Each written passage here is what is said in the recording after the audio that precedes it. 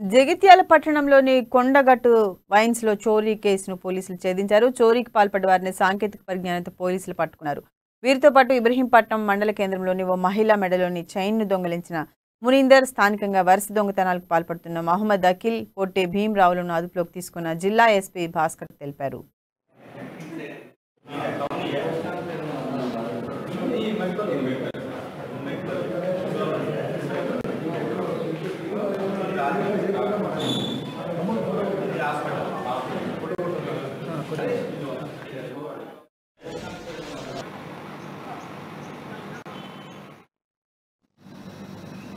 సుగాల్లో ఉన్న టీంలో కూడా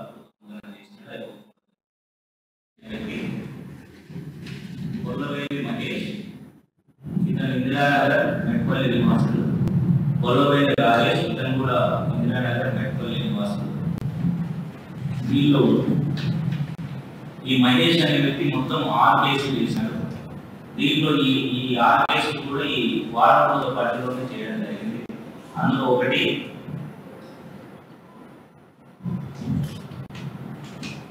మూడు మెట్పల్లిలోను మూడు కొండగట్టు మలయాళ పోలీస్ స్టేషన్ లిమిట్స్లో చేయడం జరిగింది.